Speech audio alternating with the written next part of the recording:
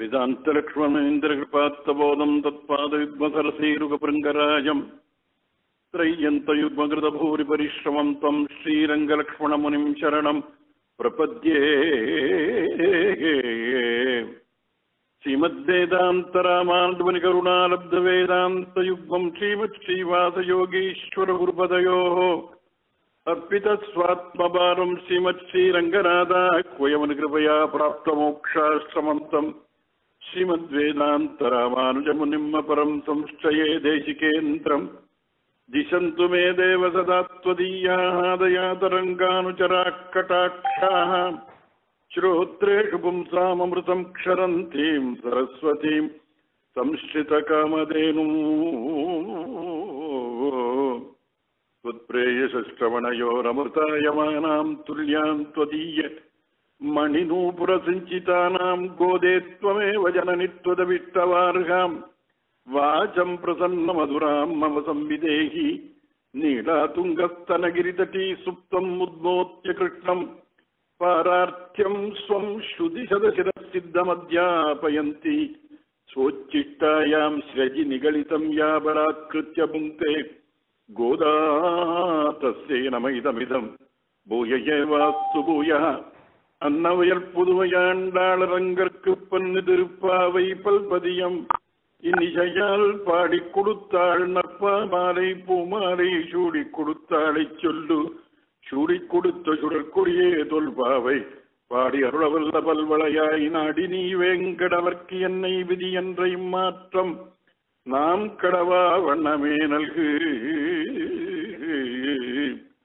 ஸ்ரீ விட்டுச்சித்த குலநந்தன கல்பவல்லீம் ஸ்ரீரங்கராஜ ஹரிச்சந்தன யோக திருஷ்யாம் சாட்சாத் ரிக்ஷமாம் கருணையா கமலாமிவான்யாம். கோதாம் அனன்யசரண சரணம் பிரபத்யே. அந்தர்ஜோதிகி கிமிபீமினா மஞ்சனம் யோக திருஷ்டேகே சிந்தாரத்னம். சுலபமிக நசித்திமோக்ஷானுரூபம் தீனாநாத வியசன சமனம் दैवतं दैवतानां दिव्यं चक्षुः श्रुतिपरिषतां दृश्यते रङ्गमध्ये वन्दे वृन्दावनचरं वल्लवीजनवल्लभं जयन्ती सम्भवं दाम वै जयन्ती विभूषणम् असाध्यसाधकस्वामिन् असाध्यं तव किं वद रामदूतकृपासन्तो மத்காரியம் சாதய பிரபோ சென்ற உபன்யாசத்திலே ஓங்கி உலகளந்த உத்தமன் பேர்வாடி என்றுதான மூன்றாவது பாடல் சங்கத்தமிழ் மாலையில அதனுடைய பாசுரார்த்தத்தை அனுபவிச்சோம். இன்றைய தினம் அந்த பாசுரத்துடைய சுவாபதேசம் உட்பொருள் அனுபவம் நமக்கு.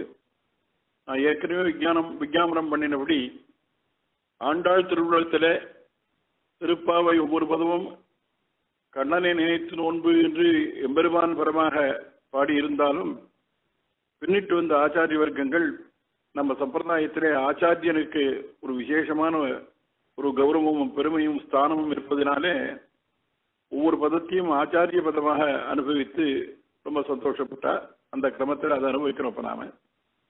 ஓங்கி உலகளந்த உத்தமன் பேர்பாடி முதல்ல நம்ம பாசுரார்த்தம் பார்க்கச்சே.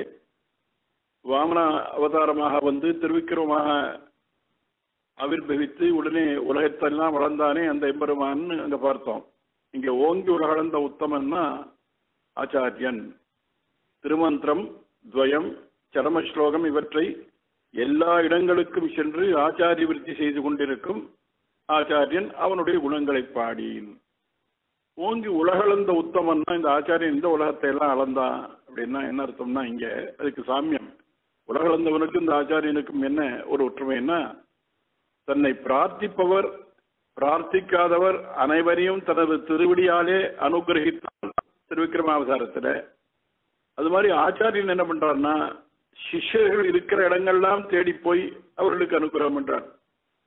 அதான் நம்ம ராமானுஜர் பத்தி சொல்ற பொழுது శ్రీరంగం కరిశైలమంజనగిరిం సాక్షాద్రిసింహాచలో శ్రీకూర్మం పురుషోత్తమం చ వదరీ నారాయణం నైమిషం శ్రీమద్వారవతీ ప్రయాగమధుర అయోధ్యాగయా పుక్కరౌ సాడగ్రామగిరిం நிஷேவிய நமத்தே ராமானுஜோயம் முனி பாத யாத்திரையாக தன் திருவடி நோக சிஷியர்கள் இருக்கிறவங்களாம் தேடி போறான். ஸ்ரீரங்கம் கரிசைலம் அஞ்சனகிரிம்னா ஸ்ரீரங்கம் கரிசைலம்னா காஞ்சிபுரம் அஞ்சனகிரினா திருமலை இப்படி ஒரு ஒரு பத்ரிகாசிரம் வரை இப்படி எல்லா இடத்துக்கும் போயிட்டு வந்தாரு. அது மாதிரி ஓங்கு உலகளந்த உத்தமன்னா சிஷ்யர்களுக்கு அனுகிரகம் பண்ணுவதற்காக பல பல விதேசங்கள் தோறும் சென்று அப்படி அனுகிரகம் பண்ணக்கூடிய ஆச்சாரணிய ஓங்கி உலகளந்த உத்தமன். உத்தமன் சொன்னா நம்ம பாசுரார்த்தத்தையும் பார்த்தோம். பெருமாள் தனக்கு இழப்பமான காரியமாக இருந்தாலும் பிறர் வாழ வேண்டி தேவதைகளுடையதான சந்தோஷத்திற்காக ஏற்றகம் வாங்கினான். அதனால உத்தமன். இங்கே ராமானுஜரமன்னா தான் நரகம் சென்றாலும் பிறர் வாழ நினைத்த உத்தவர். ஆச்சாரியன் எப்படி? தனக்கு கஷ்டம் வந்தாலும் பரவாயில்ல. சிஷ்யர்கள் நன்னார்களும் ஜனங்கள் நன்னார்களும் லோகக்ஷேமம் ஏற்படும் என்று நினைப்பவரா ஆச்சாரியன். அதான் அழகா சொல்றார். இத்திராஜ சப்ததியில சுவாமி தேசிகன். கபர்திமத கர்தமம் கபில கல்பனாவாகுராகாம். துரத்யயமதீத்ய தத்ருஹிண தந்திரயந்திரோதரம். குதிருட்டி குகனா முக்கே பரபிரம்மண கரகிரக விசக்ஷணோ ஜயதி லக்ஷ்மணோயம் முனி அப்படி ஓங்கி உலகளந்த உத்தமன் அந்த ஆச்சாரியனுடைய பேர் பாடி அவருடைய குணங்களை எல்லாம் பாடணும். அவர் பாடுறதுனா குரும் பிரகாசையே தீமான் மந்திரம் எத்திரேன கோப்பையேத்து என்று அவனை பிரகாசிக்க செய்ய வேண்டும் அவனுடைய பெருமையை சொல்ல வேண்டும் தன்னுடைய ஆச்சாரியனுடைய வைபவங்கள் எல்லாம் பேசணும்.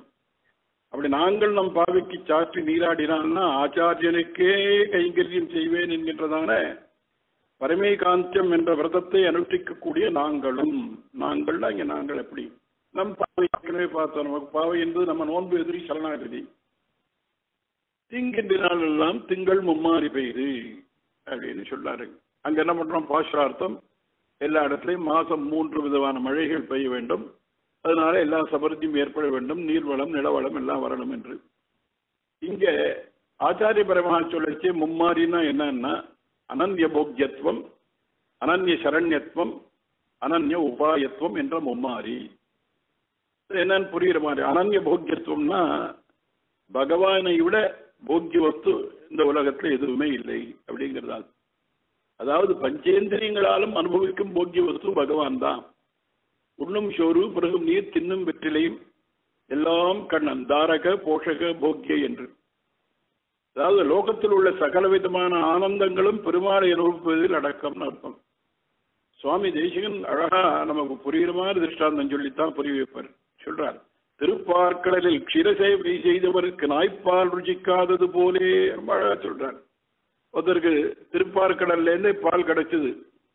ஒரு சொம்பு பால் கிடைச்சது ஒரு டம்ளர் பால் கிடைச்சதுன்னா அதை சாப்பிட்டதுக்கு அப்புறம் பால் காசப்படுவனா அது மாதிரி இந்த எம்பெருமானை விட உயர்ந்த வஸ்து கிடையாது. இதை விட போக்கியமான வஸ்து கிடையாது அப்படிங்கிறதான அந்த அந்த மழையை முதல்ல பொழு- ஆச்சாரியன். ஏன்னா அவர் சொல்றார் பார்க்கணும். தேசிகன் காஞ்சிபுரத்துக்கு போனார். நாஸ்தி பித்ரார்ஜிதம் கிஞ்சித் நமயா கிஞ்சித் அர்ஜிதோ. ஹஸ்தி மே ஹஸ்தி சைலாகிரே அஸ்தி மே ஹஸ்தி வஸ்து பைதாமகம் தனோ திருமங்கை ஆழ்வார் திருக்குழந்தை எம்பரான் விஷயமா பாடுறார் ஒரு பாசுரம். மூவரில் முதல்வனாய ஒருவனை உலகங்கொண்ட கோவினை குடந்தை மேய குருவனித்திரளை இன்பப்பாவினை பச்சைத் தேனை பைம்பொன்னை அமரர் சென்னி பூவினை புகழும் தொண்டர் என் சொல்லி புகழ்வர் தாமே.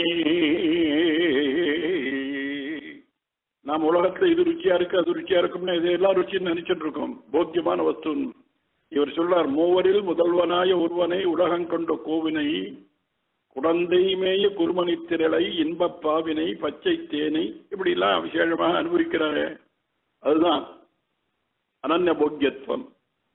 அனன்ய சரணத்துவம்னா என்ன அர்த்தம்னா பகவான் ஒருவனே ரட்சகன் அவனே சரண்யன் அவனே புகழ் அவன்தான் எல்லாம். அதாவது ஒரு ஜீவனுக்கு மற்றொரு ஜீவன் ரட்சகன் அல்ல. அது ரொம்ப அழகா பிரகலாதன் சொல்றான் பார்க்கலாம். நிருசிம்மாவதாரமாச்சு பக்தசிய தான விசேஷோ பரிபாலனாயன்னாரே இந்த பக்தனான பிரகலாதனுக்காக எம்பெருமான் நிறங்கலந்து சிங்கமாக ஆவிர்பவித்தான் அவர் கோபங்கள்லாம் தீர்ந்து அவர் திருவடியில் விழுந்தான் எடுத்து மடியில் உட்காந்து வச்சிருந்தார். அந்த நேரத்தில் பிரகலாதன் சொல்றான் அப்பா உன்னை நான் ஸ்தோத்திரம் பண்ணணும்னு ஆசைப்படுறேன். ஆனா அசுரன் குலத்துல பிறந்தவன் நான் உன்னை எப்படி ஸ்தோத்திரம் பண்றதுன்னு பின்வாங்கிறேன். ஏன்னா பிரம்மாதி ரிஷிகள் தேவகணங்கள் ரிஷிகள் இந்த மாதிரி சத்துவகுலமே நிரம்பினவர்கள்லாம் அவளாரே உன்னை பூர்ணமா ஆராதிக்க முடியலேன்னு கைவிரிக்கிற போது கேவலம் அசுரகுலத்தை உதித்தவன் நான் எப்படி பண்ண போறேன் நான் முதல்ல சொல்லிச்சேன் பிரம்மாதய சுரகணாமுனயோத சித்தாக சத்வைகதானமதயோ வச்சசாம் பிரவாகை. நாராதிதும் புருகுணைः அதுநாதி பூர்ணா கிம் தோட்டுமர்ஹதி சமே ஹரிருக்ரஜாதே. உக்ரஜாதே. நான் இப்படி சொன்னான் ஆனா மடை திறந்த வெள்ளம் போல அப்புறம் ஸ்தோத்திரம் பண்ண ஆரம்பிக்கிறான். அப்போ ஒரு விஷயம் சொன்னா நிசும்மா ஒரு குழந்தைக்கு தாய் தகப்பனார் ரட்சகர்கள் இல்ல ரோகத்தினால் பிடிப்பட்டவனுக்கு மருத்துவனால பயனில்லை கடல்ல முழுக போறவனுக்கு ஒரு ஓடம் உபயோகம் இல்லை அப்படின்னா இதெல்லாம் உபயோகப்படலையோன்னு கேட்டா எப்ப இது உபயோகப்படுதுன்னா உன்னுடைய அனுகிரகம் சேர்ந்திருந்தது தான் ஆனா உன்னாலே உபேட்சிக்கப்பட்டவர்களுக்கு இதெல்லாம் உதவாதுன்னா பலஸ்யநேக சரணம் பிதரோ நிருசும்மா நார்த்தஸ்ய ஜாகதமுதன்வதி மஞ்சசோ நவ தப்தஸ்ய தத்பிரதிவிதிர்யைகாஞ்சேஷ்டா விபோ தனுபிருத்த தொதுபேட்சிதானாம் அதனால ஒரு ஜீவனுக்கு மற்றொரு ஜீவன் ரட்சகன் இல்லை பகவானே ரட்சகன் அப்படிங்கிறத நம்ம புரிஞ்சுக்கணும். அனன்ய அதைத்தான் சொல்றார். அன அனன்ய ச- சரணத்துவம் அனன்ய சரண்யத்துவம் அப்படின்னு. நான் திருமங்காழ்வார் பெருமாள் பார்த்து சொன்னார். எந்த பெருமாள்னா நாச்சியார் கோவில் நம்ம சொல்றோம் பாருங்க. அந்த நாச்சியார் கோவில திருநறையூர் பேர். அந்த எம்பெருவானே அவர் பாடுறார் அழுத்தி எம்மானும் எம்மனையும் என்னை பெற்று ஒழிந்ததற்பின் அம்மானும் அம்மனையும் அடியேனுக்காகி நின்ற நண்பான உன் சுடரே நரையூர் நின்ற நம்பி உண்மை மாணவன் அமல்லால் மகிழ்ந்து ஏத்தமாட்டேனே ரொம்ப ஸ்ட்ராங்கான வார்த்தை போடாரு எம்மானும் எம்மனையும் என்னை பெற்று ஒழிந்ததற்பின் நான் லோகத்துல சோபாதிக பிதான் நிருபாதிக பிதான் இப்ப நமக்கு நாம் தாய் தந்தையர்னு யாரெல்லாம் கொண்டாடுறோமோ வாழலாம் இந்த ஜென்மத்தோடு சரி போன ஜென்மா நமக்கு யார் தாய் யார் தப்புன்னு தெரியாது. அப்படி இருக்கிற போது நமக்கு எப்பவும் தீர்க்க பந்துவா இருக்கிறோம் பகவான் அவனை பார்த்து இவர் சொல்றார் எம்மானும் எம்மனையும் என்னை பெற்று ஒழிந்ததற்பின் அம்மானும் அம்மனையும் அடியேற்காகி நின்ற எனக்கு அப்பா அம்மா எல்லாம் நீந்தான் இதுல வியாக்கியானம் ரொம்ப அழகு. ஆனா வரதுமே பார்த்தாலும் அம்மா அப்பான்னு இவரை கொண்டாடிட்டு இருக்காரா திருமங்காழ்வார் அவருடைய திருமாளிக்கு ஒரு நாள் பெருமாள் எழுந்தருளாராம். அவரை போய் ஒரு அம்மா அம்மானும் அம்மனையும் சொன்னது அம்மான்னு கூப்பிட்ட உடனே ஏண்டாப்பா என்ன வேணும்னு ஒரு பெண் குரலால ஏன்னு கேட்டாராம்.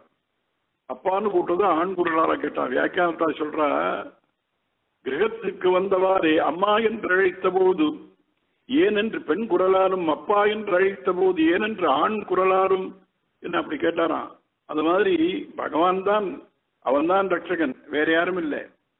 அதத்தான் சுவாமி தேசிகன் அதிகார சங்கிரகத்தை சொல்லச்சே சாதனமும் நற்பயனும் நானே அவன் சாதகனும் என் வசமாய் என்னை பற்றும் சாதனமும் சரணநெறி என்று உமக்கு சாதனங்கள் இந்நிலை கோரிடையில் நில்லா வேதனை சேர் வேரங்கம் இதனில் வேண்டா. வேறு எல்லாம் நிற்கும் நிலை நானே நிற்பன். நூதனுமாம் நாதனுமாம் என்னை பற்றி சோகம் தீர் என உரைத்தான் சூழ்கின்றானே. அப்படி அனுபவிக்கிறார். ஏன்னா அனன்ய சரண சரணமகம் பிரபத்தியே இப்ப வார்த்தையெல்லாம் பார்க்கணும். அனன்ய சீதன் அனந்த கிளேசாகரே சரணம் சரணத்ராணம் ரங்கநாதஸ்ய சம்ஸ்டயே நற்பாதுகா செலுத்த தேசிகன். தேவாமொழியில அம்மாழ்வார் அனுபவிக்கிறார். ஆழ்கின்றான் ஆழியானாரால் குறைவு உடையம் மீழ்கின்றதில்லை பிறவித்துயிர் கடிந்தோம். வாழ் கெண்டையுன் கண்மடப்பின்னை தன் கேள்வன் தாழ் கண்டு கொண்டு என் தலைமேல் புனைந்தேனே. இதையே பெரியாழ்வார் அழகார் சிறுவாளும் புல்லாளன் மண்ணாளன் சிறு செய்யும் நாந்தகம் என்னும் உருவாளன் மறையாளன் ஓடாத படையாளன் விழுக்கையாளன் இரவாளன் பகலாளன் எனையாளன் ஏழுலகப் பெரும் புறவாளன் திருவாளன் இனிதாக திருக்கண்கள் வளர்கின்ற திருவரங்கமே. லக்ஷ்மியா சகர்ஷிகேஷ தேவ்யா காருண்யரூபய ரக்ஷः சர்வசித்தாந்தே வேதாந்தே ச கீயத்தே ரக்ஷகா வந்தான் ரக்ஷகன் லக்ஷ்மியா சக கிருஷிகேஷான் விராட்டியோடு சேர்ந்த அந்த எம்பெருமான் இருக்கானே அவன்தான் அனன்ய சரண்யத்துவம்னு ரெண்டாவது மழை மும்மாரியில முதல் மழை அனன்ய போக்கியத்துவம் ரெண்டாவது மழை அரண்ய அனன்ய சரண்யத்துவம் மூன்றாவது என்னன்னா அனன்ய உபாயத்துவம். உபாயத்துவம்னா பலனை அடைவதற்கு அவனே உபாயம். என்ன? அவனே பலனையும் கொடுக்கிறான் அவனே உபாயமாக இருக்கான். அதான் சுவாமி தேசிகன் விசேஷமாக தயாசிரத்தை சொல்றார். அகமஸ்மி அபராத சக்கரவர்த்தி கருணேத்வம் சகுணேஷு சார்பௌமி சார்வபௌமி ஸ்வயம் மாம் ரிஷசைலேஸ்வர பாதசாத் குருத்வமோ அதனால பலனை அடைவதற்கும் அவனை உபாயமாகவும் இருக்கான். அனன்ய உபாயத்துவம். அது உபாய உபாதிகாரம்ங்கிறதான ரகசிய திருசாரத்துல சுவாமி தேசிகன் நமக்கு புரியுற மாதிரி சொல்றார். உபாயஸ்வப்ராப்தே உபனிஷதீத ச பகவான் பிரசக்தீதஸ்யோக்தே பிரபதன நிதித்தியாசன கதி ததாரோக பும்ச சுகிருத பரிபாகேண மகதா நிதானம் தத்ராபி ஸ்வயம் அகில நிர்மாண நிபுணா அப்படி அனன்ய பூக்கியத்துவம் அனன்ய சரண்யத்துவம் அனன்ய உபாயத்துவம் என்றதான இந்த மும்மாரியை பொழிகின்றார்கள் ஆச்சாரியர்கள் சிஷ்யர்கள் பேர்ல. அப்புறம் ஓங்கு பெரும் சென்னல் ஊடு கையலுகளே. ஓங்கு பெரும் சென்னல்னா அந்தமில் பேரின்பமான பரமாகாசத்தை நோக்கி உயர்ந்து எம்பெருமானையே அடைய வேண்டும் என்ற துறை கொண்டு உயர்ந்து இருக்கக்கூடிய ஆச்சாரியன் அர்த்தம் எப்போத்தாலும் நோக்கெல்லாம் எங்க? அந்த பரமபதத்திலே இருக்கக்கூடிய எம்பெருமான் இந்த நித்தியஸ்வரூபோடு சேர்ந்து அனுபவிக்கக்கூடியதான நித்தியமான ஆனந்தமயமான அந்த லோகத்தில் எம்பெருமானுக்கு கைகரியம் பண்ணி கொண்டிருக்க வேண்டும் என்றதான துறையோடு எண்ணத்தோடு எப்போதாலும் அதே நோக்கி கொண்டிருக்கக்கூடியதா ஓங்கு பெரும் சென்னல்லாம் அப்படிப்பட்ட ஆச்சாரியர்கள் சென்னல் ஸ்தானம் ஊடு கயலுகளை மீன்கள் கயல்னா மீன்கள் பார்த்தோம். மீனுடைய சுபாவம் என்னன்னா மீன் வந்து குட்டியை கண்ணால பார்த்தாலே அதுக்கு பசி போகும். அது மாதிரி ஆச்சாரிய கட்டாட்சம் இருந்தால் நமக்கு எல்லாமே சித்திக்கும். மீன்கள்னா பாகவதர்கள். மீன்களுக்கு கண் மூடாது. அதுபோல பாகவதர்களும் ஞான கண்களை மூடாமல் அது மாதிரி எப்போத்தாலும் பெருமானை உள்ளே அனுபவிச்சுருக்கிறவா மீன்கள் நீரில் புரள்வது போல எம்பெருமானுடைய திருக்கல்யாண குணங்களிலே ஆச்சாரியர்கள் பாகவத உத்தமர்கள் எப்போத்தாலும் மனசு அப்படியே அலைய விட்டுட்டே இருப்பானாம். ஏன்னா மீன்களுக்கும் தூக்கம் இல்லை பாகவதாளுக்கும் தூக்கம் இல்லை அதாவது பெருமாளை பார்த்தாலே தவிர உயிர் செய்யிக்காது என்றிருப்பவர்கள் பாகவதற்கு ஆச்சார கங்குலும் பகலும் கண்துயில் அறியாள் கண்ணநீர் கைகளால் இறைக்கும் சங்கு சக்கரம் என்று கை கூப்பும். தாமரை கண்ணென்றே தளரும் நம்மாழ்வார் அனுபவிக்கிறார் நாயிகா பாவத்துல. கங்குலும் பகலும் கண் துயிரதியாள் கங்குலும் பகலும்னா ராத்திரி பகல் எப்பவும் தூக்கம் இல்லைன்னு அதனால வியாக்கியானத்தை சொல்றாங்க அழகா அவரை சம்சிலேஷித்த போது அவர் உறங்கார். விசிலேஷித்த போது இவர் உறங்கார். இரண்டு வழியாலும் உறக்க வரியான். சம்ஸ்லேஷன்னா சேர்ந்து இருக்கிற போது விசேஷம்னா பிரிந்து இருக்கிற போது எப்பவும் தூக்கம் இல்லைன்னு அதான் திருமங்கி ஆழ்வார் திருப்புலாடி எம்பெருமான மங்களாசாசனம் பண்ணார். இங்க சொல்லச்சே சொன்னார் வேதமும் வேள்வியும் விண்ணும் இரு சுடரும். ஆதியுமானார் அருள் தந்தவர். நமக்கு போதலரும் புன்னை சூழ் புல்லாணி கை தொழுதேன். ஓதமும் நானும் உறங்காதிருந்தேனே. ஓதமும் நான் உறங்காதிருந்தேனே சமுத்திரமும் தூங்கல நானும் தூங்கல என்ன அப்படி எப்படி இருக்கான்னா மீன்கள் மாதிரி அதாவது பாகவதர்கள் கண்மூடப்பா அப்படி எம்பெருமா- எம்பெருமானே சிந்திச்சுட்டு இருப்பானா அதனால இங்க சுவாபதேசத்துல என்ன அர்த்தம்னா கையல் உகலன்னா ஆச்சாரியர்கள் பூங்கோலை போதில் புரிவண்டு கண்படிப்ப வண்டுன்னா பாகவதான சொல்றது. ஏன்னா ஆச்சாரியன் வண்டுக்கு ஷற்பதம்னு பேர் ஆறு கால். அதுபோல ஆச்சாரியாலும் அவளுக்கு ஆறு குணங் ஆறு காரியங்கள் ஆறு குணங்கள் என்னன்னா அத்தியனம் அத்தியாபனம் யஜனம் யாஜனம் தானம் பிரதிகிரகா என்று ஆறு தொழில் உள்ளவா ஆச்சாரியாள் ஆனால். அப்படி இருக்கக்கூடியதான அப்படி பொறிவண்டு கண்படுப்ப தேங்காதே புக்கிருந்து சீர்த்தமன பற்றி. இது யாருக்கு ஆச்சாரியனுக்கு எப்படி பொருந்தும்னா பல வருஷ காலம் ஸ்திரதீனாக இருந்து குருகுலவாசம் செய்து எம்பெருமானுடைய திருவுகளை பற்றி எல்லாத்திலும் விசேஷமான ஒரு ஊற்றத்தோடு நல்ல அப்படி இருக்கக்கூடிய ஒரு ஆச்சாரியனுக்கான தேங்காதே புக்கிருந்து அப்படி இருக்கு. அப்படி அந்த ஆச்சாரியன் எப்படிப்பட்டவர்னா பசுக்கள் மாதிரி இருக்காராம். என்ன பசுக்கள்னா வாங்க குளம் நிறைக்கும் வள்ளல் பெரும் பசுக்கள். சிஷ்யர்களை பரிபூர்ண ஞானவான்களாக ஆக்கக்கூடியதான ஆச்சாரிகளாகின்ற பசுக்கள். ஆச்சாரியர்களா பசுக்கள்னா. ஏன்னா பசுவனுடைய உடம்புல பதினாலு லோகங்கள் இருக்கு. கங்- கவா மங்கேஷு திஷ்டந்தி புவனானி சதுர்தசன்னு எழுதுறார் கவா மங்கேஷு திஷ்டந்தி ஒரு பசுமாட்டினுடைய சரீரத்துல பதினான்கு ரோகங்களும் இருக்குன்னு அதனால்தான் ரொம்ப பாவனமானது இது என்று பசுமாட்ட பிரதட்சணம் பண்றா. நீங்க பார்க்கலாம். அதே மாதிரி இவா எப்படின்னா அங்கானிவேதா சத்வாரோ மீமாம்சோ நியாய விஸ்தரா புராணம் தர்மசாஸ்திரம் சே கேதா சதுர்தச ஆச்சாரியாள் என்ன சரீரத்துல அவள்கிட்ட என்ன இருக்குன்னா பதினாலு வித்யாஸ்தானங்கள் இருக்கு. ஆச்சாரியர்களும் பசுக்களும் சாமியம் சொல்றா பார்க்கலாம் வள்ளல் வெறும் கோதானம் என்ற போது அதை சொல்லிட்டா சொல்றான் அதனால. இங்கே மிருக ஜாதிக்குள்ளே பரம பாவனமானது பசு. மனுஷால்னு நினைக்கக்கூடாது ஆச்சாரியர்கள் மனுஷான நம்ம பார்த்தோம்னா கூட அதுக்குள்ள ரொம்பவும் பாவனமாக உயர்ந்தவராக இருப்பவர் ஆச்சாரியன். பசுக்கள் என்ன பண்ணும்னா கிரகங்களை ரொம்ப உயர்ந்ததான பாவனமான பிராணியான தான் பின்னால பின்னால தொழுவத்தில் கட்டி வைக்கிறார். இவாளும் ரொம்ப உயர்ந்தவாளா இருந்தாலும் ரொம்ப ரொம்ப தொத்ருத்திய பிரிச்ச பரிசாரக பிரித்திய பிரிச்ச பிரித்திய பிரித்திய என்று தங்களை ரொம்பவும் தொண்டர் தொண்டர் அடியார் அடியார் அடியார் தம்மடியார் என்றெல்லாம் ரொம்பவும் பவ்யமா இருக்கக்கூடிய வாழலாம் அது மாதிரி எம்பெருமான் தினப்படி கால வேளையில விஸ்வரூபத்துக்கு பசுக்களை அப்படி கடாட்சிச்சுட்டு தான் அவருக்கு காலை பொழுது புலரும். அதுபோல பெருமாளுக்கு ஆச்சாரியர்கள் ஆழ்வார்கள் தனியங்கள் அவருடைய திவசூத்திகள் கேட்கணும். ஆமா. தந்து புரிதமாக்குறது பசு. இப்ப நம்ம நாள்ல பஞ்சகவ்யம்னா புரியாது. பசுவோடையான ஒரு ஐந்து வஸ்துக்கள் சேர்த்து சுத்திக்காக பழைய நாள்ல பண்றது.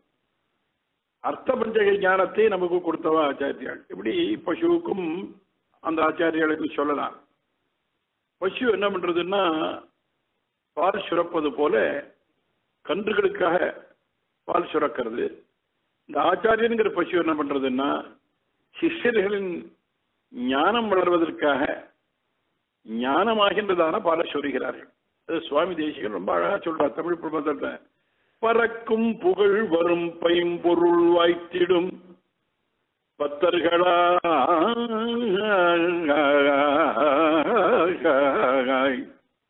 இறக்கின்றவர்க்கு இவை ஈந்தால் அறமுளது என்று எம்பார் கறக்கும் கருத்துடை தேசிகன் கன்று என நம்மை எண்ணி சுரக்கும் சுரபிகள் போல் சொருகின்றனர் சொல்லமுதே.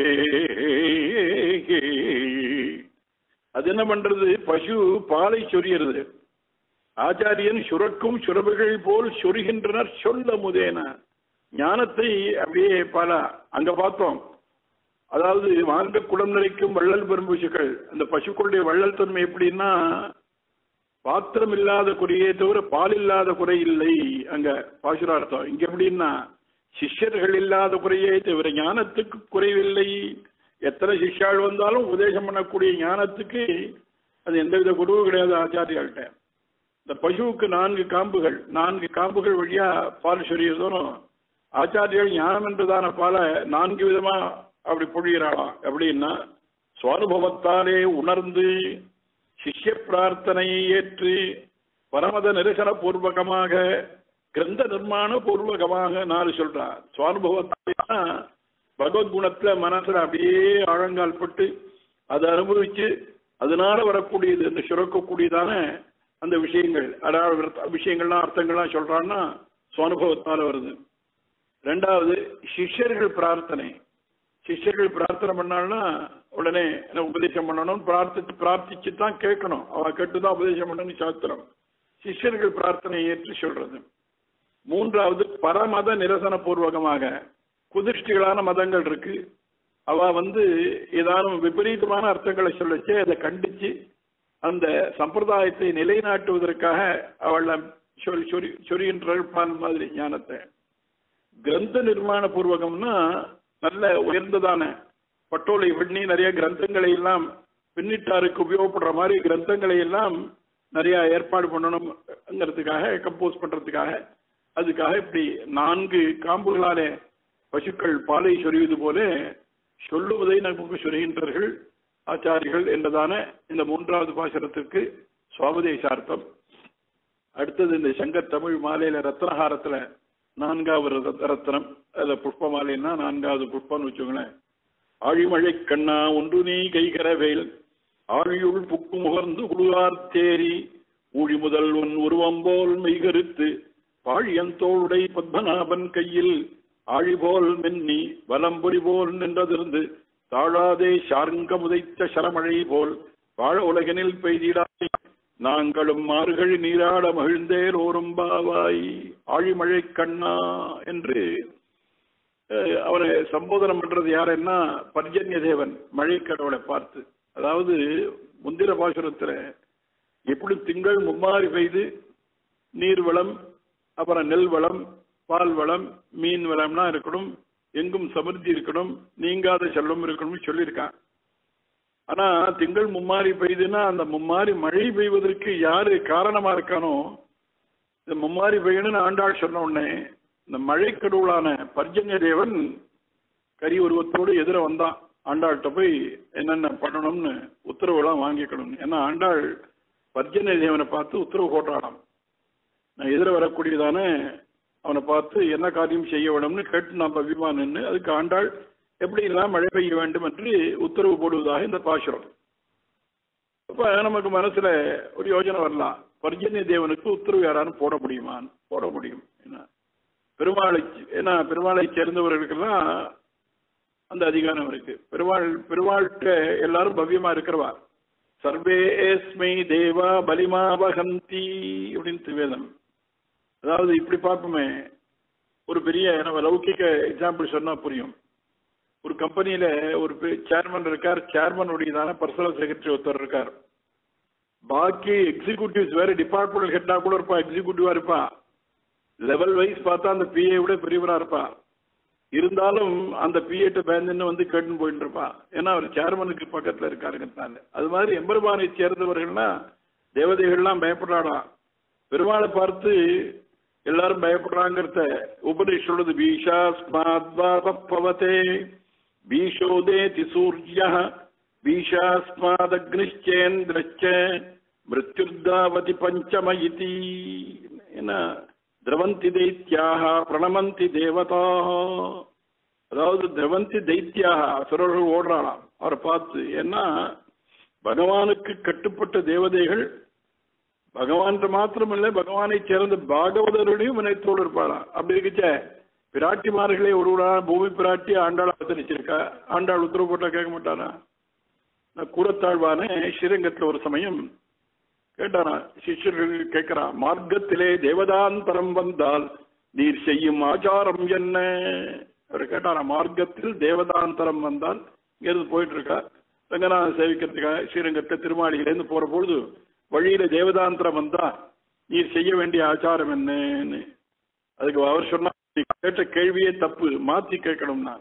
மார்க்கங்களில் தேவதாந்தரங்கள் கண்டால் உன்னை கண்டு அவை செய்யும் ஆச்சாரங்கள் என்ன தேவதாந்திரங்கள்னா மற்ற தேவதைகள்லாம் பெருமாளை சேர்ந்தவாளுக்கு அவாபவியமா இருக்கணுமா? அப்படி அதனாலதான் சொல்றான் நம்ம சித்தாந்தம் எப்படின்னா சுத்தாந்த சித்தாந்தம்னு எழுதிட்டு போயிட்டாங்க இது புரியாம என்ன பண்றான்னா நாம ஏதோ பார்த்துட்டு துவேஷம் இருக்கிறதா நினைக்கிறேன். அது புரியல அதனால. அதாவது சுத்தாந்த சித்தாந்தம்னா அந்த ஸ்திரீ போலே பதிபுரதா ஸ்திரீ போலேன்னு அர்த்தம். அதாவது ஒரு பதிபுரதியானவள் தன் கணவனை தவிர வேற யாருக்கும் அவ அடிபணிஞ்சு இருக்க முடியாது இருக்கக்கூடாது. இருந்தா பாதிபிருத்தியம் போயிடும். இல்லையா? அது புரிஞ்சுக்கணும். அது எல்லாமே ஒரு புரியுற மாதிரி சொல்ல பாருங்க எக்ஸாம்பிள் ஒரு நீச்ச உபமானம் தான் யாரான இந்த ஸ்திரீயை பாரு தன் பர்த்தாவை மாதிரி பாக்கி பாக்கி பேரையும் பார்க்க மாட்டேங்கிறாளே. அப்படின்னு கம்ப்ளைண்ட் பண்ணா எப்படி? பர்த்தாவை மாதிரி மற்றவாளை எப்படி பார்க்க முடியும்? பர்த்தாவை கொடுக்கறது குருவமோ மற்றவர்களுக்கு கொடுக்க முடியாது இல்லையா? அதுதான் சுத்தாந்த சித்தாந்தம்ங்கிறது நம்ம இது. சர்வேஸ்வரன் ஸ்ரீமன் நாராயணன் அவனே தான் நமக்கெல்லாம் அவன்தான் உபாயம் அவன்தான் பலன் கொடுக்கக்கூடியவன் அவன்தான் நமக்கு சரண்யன் என்றதான இருக்கிற சித்தாந்தம் அதனால. அதனால என்ன பண்றதுன்னா தேவதைகள் பாக்கி எல்லாரும் பயப்படுறாளாம். பெருமாள் பெருமாளை சேர்ந்தவளை பார்த்து அங்கே அழகா பாகவதம் விஷ்ணு புராணத்துக்கு அழகான ஒரு ஸ்லோகம். அது யமதர்மன் என்ன பண்றான் தன்னுடைய பிரித்தியர்கள் அதாவது தினப்படி காலம்பரை எழுந்தா அங்க அவனுக்கு யமதர்மன் இருக்கக்கூடிய சித்திரகுப்தன் ஒருத்தர் இருக்கான். அவன் எல்லாம் யாரா இருக்கு உயிரை எடுத்துன்னு வரணும்னு டைரியில் எழுதி வச்சிருப்பான். அதுக்காக அங்க இருக்கிற கிங்கரர்கள். அவன் என்ன பண்ணுவான்? பாச கயிறு எடுத்துட்டு பூலோகத்துக்கு கிளம்பிடுவா அன்னைக்கு காலம்பர அவள் அவளுக்கு ஒரு டெரிட்டரி கொடுத்துருக்கான்னு வச்சுக்கோங்க. அவன் கிளம்பி போறான். அப்ப இருக்கிற பிரித்தியர்களை பார்த்து யமதர்மன் ஒரு சமாச்சாரம் சொன்னான்னு ஆச்சரியமாக ஒரு ஸ்லோகம் பார்க்கணும். ஸ்வபுருஷமவீக்ஷ பாசகத்தோ ஸ்வபுருஷமபிவீக்ஷ பாசகத்தம் வததீ यमः किल तस्य कर्णमूले परिहर मधुसूदनप्रपन्नान् प्रभुरहम् अन्यनृणां न वैष्णवानां प्रभुरहम् अन्यनृणां न वैष्णवानां स्वपुरुषमभिवीक्ष्य पाशकत्वम् பாஜக இடத்துல போற தன்னுடைய பிரிச்சனை பார்த்து வததி யமஹா கில தஸ்ய கர்ணமூலே. அவனை கூப்பிட்டு காதோட பேசுறானாம். அவன் காதுல வந்து யமன் வந்து அந்த பிரிச்சன் காதுல காதோட வந்து சொன்னானாம். ரகசியமா? என்னடா சொன்னான்னா பரிகர மதுசூதன பிரபன்னான் மதுசூதனான எம்பெருமானை பிரபத்தி பண்ணின பாகவதோத்தமர்களை விட்டுடு. அவ கிட்ட போகாத. பிரபுருகம் அன்னனாம் ந வைஷ்டவானாம் அதுக்கு வியாக்கியானம் ரொம்ப அழகு. சோறும் தண்ணீரும் தாரகமன்று இருப்பவருக்குத்தான் நான் பிரபு. ஸ்ரீவைஷ்டவர்கள் தான் எனக்கு பிரபு என்கிறான். அப்படி அதை மீறி நீ போனேன்னு வச்சுக்கோ அவள்கிட்ட. நான் மதுபட்ட பாடு படுவேன் என்கிறான். அதான் மதுசூதனன் மது என்ற அரக்கனை அழித்தவன். அதுக்காக அந்த பதத்தை போட்டான் இந்த மதுங்கிற அரக்கன் எம்பெருமான் கையில் என்ன பாடுபட்டானோ அந்த பாட்டை நான் படுவேன். வததி யமஹா தஸ்ய கர்ணமூலேன்னு பதம் போட்டாரா? திருமை சிப்பிரான் அவர் சொல்றார் பார்க்கணும். திறம் பேண்மின் கண்டீர் திருவடி தன்னாமம். திறம் பேண்மின் கண்டீர் திருவடி தன்னாமம். மறந்தும் புறந்துழாமாந்தர். இறைஞ்சியும் சாதுவராய் போதுமின்கள் என்றான். நமனும் தன் தூதுவரை கூவி செவிக்கு தன் தூதுவரை கூவி செவிக்கு காதோடு என்று சொன்னா மறந்தும் புறந்தொழா மாந்தர் இறைஞ்சியும் சாதுவராய் போதுமின்கள். மறந்தும் புறந்தொழா மாதர்னா மறந்து போய் கூட வேற தேவதாந்தர ஸ்பர்சமே இல்லாத கூட. சமாசயம் பண்ணிண்டு அஷ்டாட்சர உபதேசம் பெற்று அது மாதிரி சரணாகதி எல்லாம் பண்ணி தேவதாந்திரத்தையே நினையாமல் இருக்காளே. அவளே போகாது என்ன? அதைத்தான் நீங்க பார்க்கலாம். அவர் என்ன பண்ணார்? திருமங்காழ்வார் திருக்கண்டபுரத்தின் எம்பெருமான எம்பெருமானை பார்த்து ஒரு வார்த்தை சொல்றார். வெள்ளை நீர் வெள்ளத்தனைந்த அரவணை மேல் துள்ளு நீர் மெள்ளத் துயின்ற பெருமானே. வள்ளலே உன் தமர்க்கு என்றும் நமன் தமர் கள்ளர் போல் கண்ணபுரத்துறை எம்மானே வள்ளலே உன் தமர்க்கு என்றும் நமன் தமர் கள்ளர் போல் அதாவது ஏ கடபுரத்தம்மானே நமன் தவர் யமதூதர்கள் என்ன பண்ணான்னா உன்னுடையதான விட்டு தூதர்களை பார்த்தா இவ திருட மாதிரி பயந்து ஓய் ஒளிஞ்சுருவாளே ஏன்னா யமனுக்கு உன்னை கண்டா மாத்திரம் உன் தூதர்களை கண்டாலே பயம் நாம். அது மாதிரி ஏன்னா என்னுடைய யூரிஸ்டில் அப்படி சீமன் நாராயணனை சரணாதி பண்ணவா கிட்ட நீ போனா என் போஸ்டே போயிடும்னா. இந்த விஷயத்த தியாக பிரம்மம் ஒரு கீர்த்தனை பாடுறார். சிந்தித்துன்னாடே எமுடு சிந்தித்துன்னாடேன்னு ரொம்ப அற்புதமான கீர்த்தனை முகராஜ ராகத்துல என்ன சிந்திஸ்து உன்னாடேன்னார் எப்போத்தாலும் கவலைப்பட்டிருக்கான கன்னத்தை கை வச்சுட்டு என்னடா அண்ணா? அனுபவிகளை சொல்லிச்சு சந்ததமும் சுஜனுல் அல்ல எல்லாரும் எல்லா வேணும் பூலோகத்தில் இருக்கிறவங்களாம் பகவநாம சொல்ல ஆரம்பிச்சுட்டாளே. இப்படி பகவநாமாவை சொல்ல வச்சுனாக்கா சிவன் நாராயணன் திருவடி ஆசிரியிக்க ஆரம்பிச்சுட்டா. அப்படி ஆச்சுன்னா அப்புறம் நரகத்துக்கு ஒத்துரு கூட வரமாட்டாளே.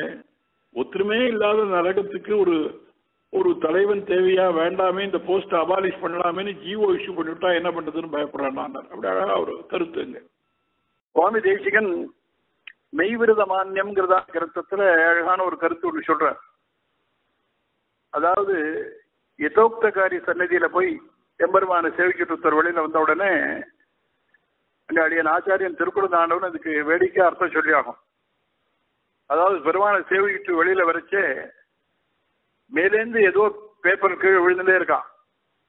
என்னடானா சித்திரகுப்தன் இந்த வியக்தி யார் உள்ள போய் பெருமாளை சேவிச்சுட்டு வந்தாரோ அவர் பண்ணின பாபங்களை எல்லாம் கணக்கு எழுதி வச்சிருக்கான் ஒரு லெக்சர்ல அதை வந்து ஒன்னொன்னா கிழிச்சு போட்டுருக்கானா ஒரு ஒரு லீஃபா என்ன காரணம்னா இவன் போய் தூக்கக்காரி சேவிச்சு வந்தாச்சு. இனிமே இவன் நரகத்துக்கு வர வேண்டிய வேலை இல்லை. அதனால இதெல்லாம் டெலீட் பண்ணுங்கிறதாக எடுத்து போட்டாங்கிற மாதிரி அழகா அர்த்தம் சாதிச்சாகும். அந்த பாசுரத்தை இப்ப சொன்னா புரியும். தரணியில் மன்னியனார் தனித்தவம் காத்தபிலானோ கருட என்னும் கடலாடி திருவனை கண்டதற்பின் திரள் நரகு எண்ணிய சித்திர குத்தம் தெருத்து வைத்த சுருணையில் ஏறிய சூழ்வினை முற்றும் துறந்தனமே. திரள் நரகு எண்ணிய சித்திரகுப்தன் தெரித்து வைத்த சுருணைங்கிறார். சித்திரகுப்தன் எழுதி வச்சிருக்கானே இந்த சுருணைன்னா லெக்சர் அக்கௌண்ட்ஸ் புக்குன்னு அர்த்தம். அப்படி. சரி இப்ப நமக்கு ஒரு ஒரு சந்தேகம் மனசுல வரலாம். யமதர்மன் தன்னுடைய தூதுவர்களை கூப்பிட்டு வததி யமஹா கிள தசிய கர்ணமூலேன்னு ஸ்லோகம் பார்த்தோம். அதையே அவர் என்ன பண்றார்? திருமயிசி ஆழ்வார் அவர் என்ன பண்றார்? நவனும் தன் தூதுவரை கூவி செவிக்கு காதோடு சொன்னான்கிறாரு. ஏன் இறங்கி சொல்லப்படாதா? அவன் கூப்பிட்டு இந்த பிரச்சனை கூப்பிட்டு ஏன் இந்த மாதிரி மதுசூதன பிரபன்னர்கள் இருக்கக்கூடிய இடத்துக்கெல்லாம் போகாது என்னுடைய ஜூரிஸ்டிக்ஷன்ல அப்படின்னு அவனை கூப்பிட்டு இன்ஸ்ட்ரக்ஷன் கொடுக்கக்கூடாதா? காதோடு சொல்வானேன்னா அது புரியறதுக்கு தொண்டர்புடி ஆழ்வாருடைய பாசுரத்தை பார்த்தா புரியும். தொண்டர்புடி ஆழ்வார் திருமாலை என்ற கிரந்தத்துல ரங்கநாதன் விஷயமாக பாடுறதான ஒரு பிரபந்தம் நாற்பத்தஞ்சு பாடல்கள். அதுல ஒரு ரசமான ஒரு கதை ஒன்று சொல்றார். அதாவது பூலோகத்திலேருந்து ஒரு நரனை கிங்கர்கள் யமகிங்கர்கள் நரகத்தை கழிச்சுன்னு போனா அவனுக்கு போய் முத்கலன்னு பேரு. அவனை கொண்டு போய் யமதர்மனுக்கு முன்னால் நிறுத்தி அவனுக்கு பனிஷ்மெண்ட் கொடுப்பதற்கு என்ன வேணுமோ ஏற்பாடு பண்ணணும் வந்து இவாள்லாம் விண்ணப்பிச்சா. உடனே யமனை பார்த்து இந்த நரன் என்ன பண்ணா சண்டை போட்டான். சுவாமி உங்க ஊழியர்கள் உங்களுடைய பிரித்தியர்கள் உங்களுடைய கங்கி கிங்கரர்கள் காரணம் இல்லாமல் என்ன நரகத்துக்கு வருவதற்கு எந்த விதமான முகாந்திரம் இல்லாத என்ன நரகத்துக்கு அழிச்சு வந்திருக்கா? நான் நரகத்துக்கு வர வேண்டியவனே இல்லை. அவ பண்ணினது தப்பு. பை மிஸ்டேக் அழிச்சு வந்துட்டா. நீங்க தான் விசாரிக்கணும். ஏன்னா அவனுக்கு தர்மராஜன் பேர் யம தர்மராஜன் பேர் ஏன்னா தர்மம் மீறி இந்த காரியம் நடக்கக்கூடாது. அவனுக்கு கொஞ்சம் பயம் வந்துருது பூலோகத்திலேருந்து ஒரு நரன் வந்து இப்படி சொல்றானே. ஏதாவது தப்பு நடந்துருத்தோன்னு கேட்கணும்னு உன்னை சித்திரகுப்தனை வர வச்சா சித்திரகுப்தனை பார்த்து இந்த மாதிரி இந்த நரன் சொல்றான் அவன் பண்ணின பாபங்கள் என்னங்கிறது உங்கள்கிட்ட தானே அதுக்கு டீட்டெயில்ஸ் இருக்கான் உடனே சித்திரகுப்தன் வரிசையாக கொண்டு வந்து ஒரு அஞ்சாறு வால்யூம் புத்தகம் கொண்டு வந்து வைக்கிறான். நான் அவன் பண்ணின பாபங்கள்லாம் லிஸ்ட் பண்ணி இருக்குது. Volume one two three four five இது மாதிரி. உடனே அவன் பார்த்தா யமதர்மன் என்னடா அது இவன் தப்பே பண்ணவேங்கிறான் சித்திரகுப்தன் இப்படி எழுதி வச்சிருக்கானே. சித்திரகுப்தன் தப்பு பண்ண மாட்டானே. அப்படின்னு உடனே இந்த நரனை பார்த்து யமன் கேட்டான். ஒரு ஒரு புஸ்தகமா பிரிச்சு படிச்சு இந்த பாபம் நீ பண்ணிருக்கியா? இந்த பாபம் நீ பண்ணிருக்கியா அதுக்கு முத்கலன் சொன்னா ஆமா பண்ணிருக்கேன் ஆமா பண்ணிருக்கேன் எல்லாத்தையும் அக்செப்ட் பண்ணினான் யமனுக்கு கோபம் வரல ஆச்சரியம்.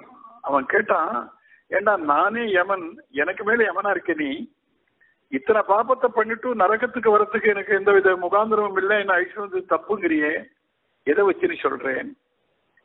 அதுக்கு அவன் சொன்னான் இந்த பாபங்கள்லாம் நான் பண்ணினேன் வாஸ்தவம் நான் இல்லைன்னு சொல்லல.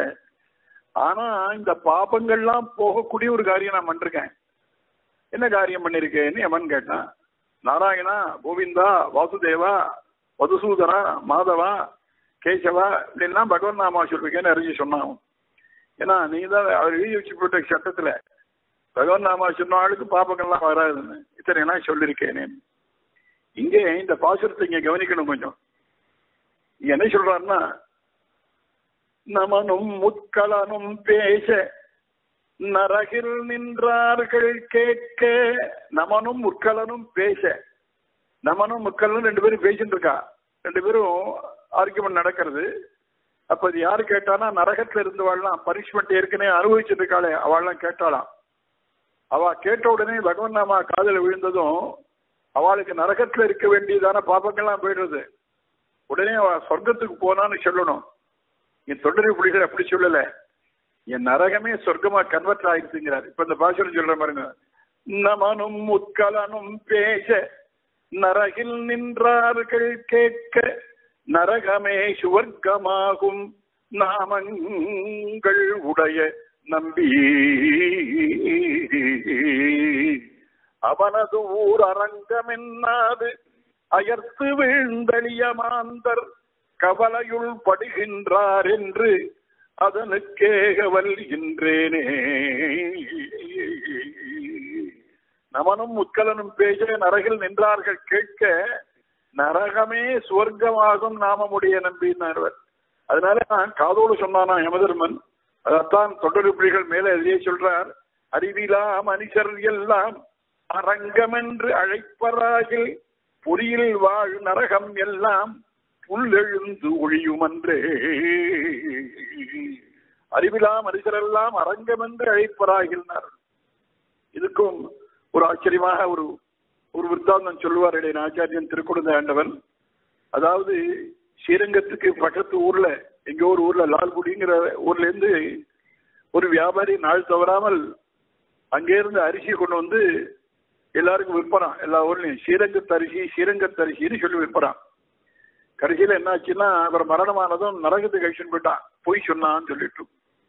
அங்க பொய் சொன்னான்னு அவர் நரகத்துக்கு போய் அவ யமதூதர்கள் கொண்டு போச்சு விட்டு தூதர்கள் வந்து சொன்னாலாம் அவன் சொன்னது பொய்யா இருக்கலாம். ஆனா திரும்ப திரும்ப ஸ்ரீரங்கம் ஸ்ரீரங்கம் ஸ்ரீரங்கம்னு பல முறை சொன்னதுனால அவனுக்கு நரகத்துல வாசல் கிடையாதுனா அறிவிலா மனுஷரை எல்லாம் அரங்கம் என்று அழைப்பராகில் பொறியில் வாழ் நரகம் எல்லாம் புல்லெழுந்து ஒழியும் என்றேன். அதனால அப்படி பாகவதாள் விஷயத்திலே தேவதைகள் பயப்படுவான்னா சாட்சாத் பூமி பிராட்டியனுடைய அம்சமான ஆண்டாள் மழைக்குடைகளை பார்த்து எப்படி மழை பெய்யணும் அப்படின்னு சொன்னா அவன் கேட்டுதான் ஆகணும்.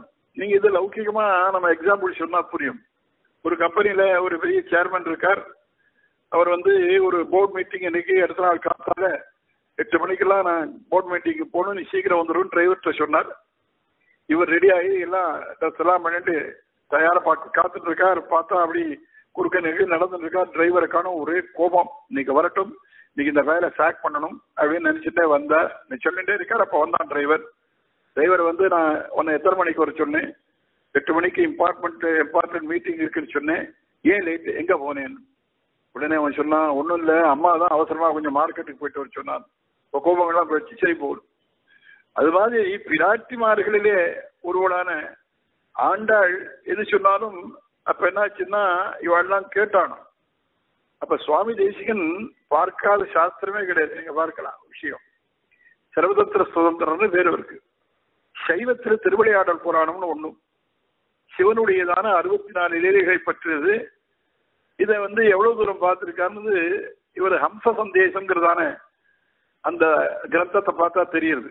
அதாவது சேர சோழ பாண்டிய மன்னர்கள் அவ ஊர்ல கிட்டத்தட்ட ஒரு பன்னெண்டு வருஷம் மழையே இல்லாம இருந்து ஒரு சந்தர்ப்பத்துல அவன் என்ன பண்ணா மூணு ராஜாக்களும் தேவலோகத்துக்கு போனா டெபுட்டேஷன் போறதுன்னு வச்சுட்டு போனோம். ஏதாவது கஷ்டம் இருந்ததுன்னா தேவலோகத்துக்கு போனா இந்திரனுடைய சதஸுக்கு போனா அவன் சோழன் கொஞ்சம் பணக்காரம் அதுக்காக அவனுக்கு சீட்டு கொடுத்துட்டான் சேரனுக்கு சீட்டு கிடைச்சிடுத்து பாண்டியனுக்கு உட்கார சீட் கிடைக்கல.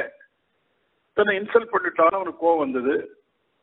உடனே என்ன பண்ணா இந்த இந்திரனுடைய குற்றத்தை அடக்கணும்னு வைகை கரையில வந்து சிவனை குறிச்சு தபஸ் பண்ண ஆரம்பிச்சான் சங்கா சரகசியா தனுர்வேத பிரதீயதாம்.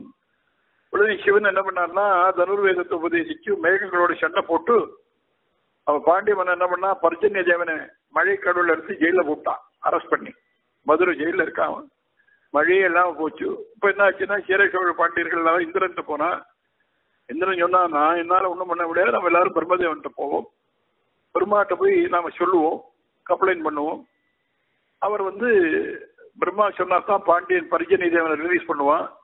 இந்த மழை கடவுள் ஜெயிலேருந்து வெளியில வந்தா தான் மழை பெய்யும். அதனால பிரம்மாட்ட போகணும். எல்லாரும் பிரம்மாட்ட போறா. இந்த ஈஸியின் அழகா சொல்றாரு பார்க்கணும். உடனே அவன் பாண்டியன் என்ன பண்ணா ஒரு கண்டிஷன் போட்டான். காலாகாலத்துல எத்தனை தேவையோ அத்தனை மழை என் தேசத்துல பெய்யணும். அதிவிருஷ்டி அனாவிருஷ்டி இல்லாமல் இருக்கக்கூடும். இல்லை இல்லாமல் இருக்கணும். அதுக்கு ஒரு அக்ரிமெண்ட் சைன் பண்ணிக்கணும் நாம். அக்ரிமெண்ட் சைன் பண்ணி அதுக்கப்புறம் ரிலீஸ் பண்ணானா. அதில் எழுதுற அந்த ஹாலாசிய புராணம் பேரு அதுல திருவிளையாடல் புராணம் தமிழ்ல. எழுதினவன் யாருன்னா சித்திரகுப்தன். அதுக்கு சைன் பண்ணினது யாருன்னா பரிஜன்னன் மழை கடவுள் விட்டது யாருன்னா பிரம்மா சுந்தரேஸ்வரன்னா. இந்த விற்த்தாந்தத்தை மனசுல வச்சுட்டு சுவாமி ஹம்ச சந்தேசன் ஒரு கிரந்தம் பண்ணார் அதாவது சீதா பிராட்டி லங்கையில் இருக்காங்கிற விற்த்தாந்தத்தை ஆஞ்சநேயன் வந்து ராமபிரான் சொன்ன உடனே ராமபிரான் ஒரு அன்னபட்சிய ஹம்சத்தை சூதுபடுறதாக ஒரு அழகான கற்பனை. அந்த அம்சத்தை சொல்லி அனுப்புறார். ஏ அண்ணமே நீ முதல்ல நேரப்போ போகின்ற மார்க்கத்துல நாம எந்த காரியத்தை பண்ணாலும் பெருமாள் சேவிச்சு போகணும்னு ஒரு கிரமம் இருக்கு. முதல்ல நீ திருவேங்கடத்துல போய் பெருமாளை சேவி. அதுக்கப்புறம் புண்ணியகோடி விமானம் காஞ்சிபுரத்துல அந்த வரதராஜனை சேவி. அவர் ஸ்ரீரங்கத்துல சேஷபீட்டத்துல அங்க எப்பெருமான் இருக்கான் அவனை சேவி. அப்புறம் பாண்டிய தேசம் வரும். அந்த பாண்டிய தேசம் எப்படி இருக்குன்னு சொல்றேன் கேளுன்னு பாண்டிய தேசத்தை வர்ணிப்பதான ஸ்லோகம் ஈஷாதஸ்திராணியதிகதவதாம் க்ஷத்ரியாணாம் பிரபாவாத் காராவாசஸ்மரணச்சகிதைः சிக்தசஸ்யான் பயோதைः பஷ்யன் யாயாः பரமலகயாம் ஸ்பர்தமானைரஜஸ்திரம் புண்ணியாவாசைகி புரஜனபதைகி மண்டிதான் பாண்டிய தேசான் அதனால அந்த மாதிரி மழை கடவுள் அவனை எல்லாரும் மழை கடவுள்னா பர்ஜனி தேவன் பெருமாளுக்கு யாரெல்லாம் முதல்ல சொன்ன மாதிரி பீஷாத்மான் வாதப்பவதே பீஷோதேதி சூர்யா அது மாதிரி அத்தனை தேவதைகளும் பகவானுக்கு பயப்படுவாளாம். பகவானை சேர்ந்த பாகவதாளுக்கும் பயப்படுவாள். அதுவும் பிராட்டிமார்களிலே ஒருவளான பூமி பிராட்டியான ஆண்டாள் அந்த மழைக்கடவுளை பார்த்து உத்தரவு போட்டாள். அப்படின்னு இந்த பாசுரத்தை ஆழிமழை கண்ணா அப்படின்னு ரெண்டு விதமாக இதுக்கு சம்போதனம். ஆழிமழைக்கு அண்ணான்னு ஒரு தரம் அப்புறம் ஆழிமழை கண்ணா என்று ரெண்டு விதமாக இந்த ஆழிமழை கண்ணன் ஆழிமழைக்கு அண்ணன் அப்படின்னா சுற்றி சுற்றி சுழன்றி சுழன்றி பெய்கின்றதா வட்டம் வட்டமா நல்ல சூறாவளி காத்தோட மழை. சாதாரணமா பார்க்கலாம். சாதாரணமா ஒரு மழை வந்து வேகம் இருந்து மழை வந்ததுன்னா அப்படியே ட்ரெஸ்ஸிலோடு போயிடும் சில சமயம். நல்ல மழை நீங்க பார்த்தோம்னா அப்ப எப்படின்னா ஏதாவது ஒரு புயல் வருதுன்னு சொன்னோம்னா சைக்ளோன் வருதுமா புயல்னா காத்து இந்த காத்தோடு சேர்ந்து வர மழை ஷோண்டு ஷோண்டு ஷோண்டு மழை நீடிச்சு மழை பெஞ்சுட்டு இருக்கும். அதை மனசில் வச்சு ஆழிமழைக்கு அண்ணா என்று இந்த பாசுரத்தினாலே பர்ஜன்ய தேவனை அழைத்து உத்தரவு போடுறான். அதனால்தான் இந்த பாசுரத்திலே அவதாரிக்க சொல்லி பாகவத மகாத்மியம் பேசப்படுகிறதுன்னு. பாகவதர்களுக்கு எத்தனை கௌரவம் இருக்கு? பெருமாளை சேர்ந்தவர்களான பாகவதற்கு தேவதைகளும் பயப்படுகின்றாள் என்றுதான் இந்த குவிண்டசன்ஸ் இந்த பாசுரத்துடைய பதங்களை எல்லாம் எடுத்து அதற்கு மேல அடுத்த உபன்யாசத்தை நாம் அனுபவிக்கலாம் என்று கூறி இதுகாரும் அவரது எங்கெல்லாம் இருந்து கேட்டாலும் சரி எந்த இடத்துல கேட்டிருந்தாலும் அதை நேரடி நேரடியாக கேட்டாலும் பின்னால யூடியூப் மூலமாக கேட்டாலும் இது சிரவணம் பண்ணினவா எல்லாருக்கும் ஆயிரம் ஆரோக்கிய ஐஸ்வர்யங்களும் சர்வஸ்ரேயசும் சர்வ மங்களங்களும் சர்வாபீஷ்டங்களையும் அந்த ஆண்டாளும் அரங்கநகரப்பனும் திவ்ய தம்பதிகள் அருள வேண்டும் என்று பிரார்த்தித்து மங்களமா முடிக்கிறேன் சதமகமணி நீலா காரு கல்காரகஸ்தாம் தனவன நமிதாங்கி சாந்திரவா அத்சல்ய சிந்து அலகவனிகிதாபிஷக்விரா கிருஷ்ணநாத விலசதுகிருதி கோதா சித்தாத்மஜானः यस्मादेव मया सर्वं शास्त्रमग्राहिणान्यतः தஸ்ரீவேங்கடநாதாய மமநாதாய மங்களம் சொத்தி பிரஜாபிய பரிபாலயந்தாம் நியாயேன மார்க்கேன மகிம் மகிஷா கோபிராமணேபிய சுபம் வஸ்து நித்யம் லோகா சமஸ்தா சுகினோ